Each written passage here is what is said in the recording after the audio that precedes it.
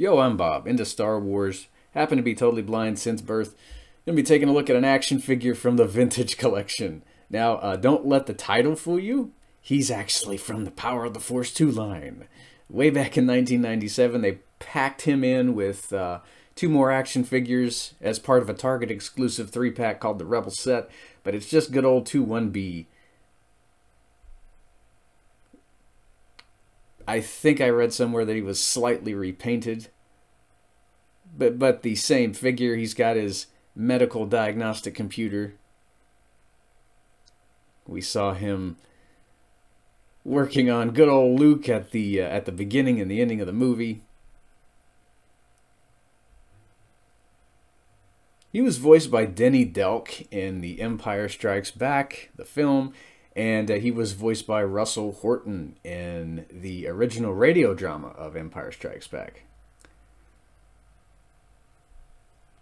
I really like the film voice. Um, just sounds like such a nice, soothing Medroid. Take care, sir.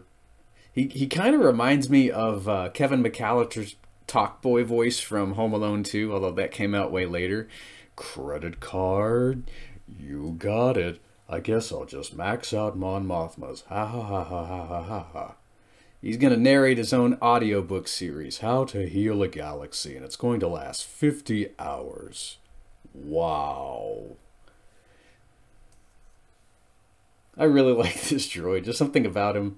His uh, his soothing his soothing voice might make surgery uh, seem like a breeze. Who knows?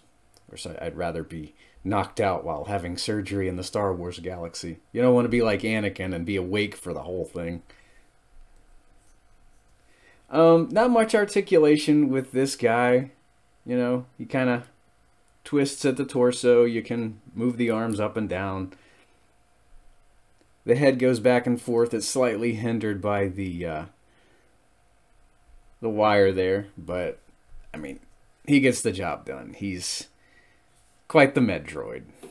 I guess that'll do for this Star Wars action figure review, and uh, wish 2-1B the best of luck with his with his audiobook narration series. He might be going into stand-up next. I don't I don't really know. I don't keep up with the uh, uh, with 2-1B lore. Till next time, guys, may the force be with you.